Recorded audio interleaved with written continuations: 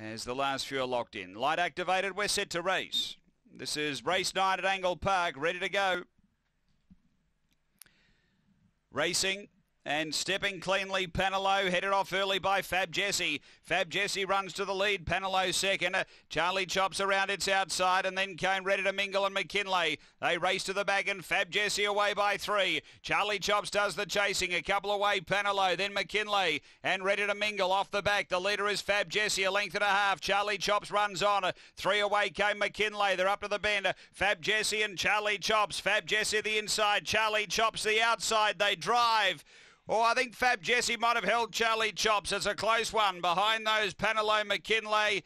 And back toward the tail end, we had Ready to Mingle. The time around 30 and 50.